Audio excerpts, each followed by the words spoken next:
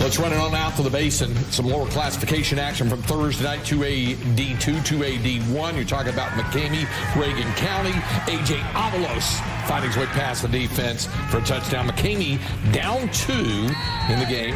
And Grant Glidewell is going to roll it outside and find Edgar Martinez. Some nice footwork as he rolls it down the sideline and takes it in for the Badger touchdown. Owls do respond, however. It's Kason Brown to Raymond Saldivar. Finds that one, hauls it in for another Owl score. Then that combo works another time. It's Brown to Saldivar. Once again, his second touchdown.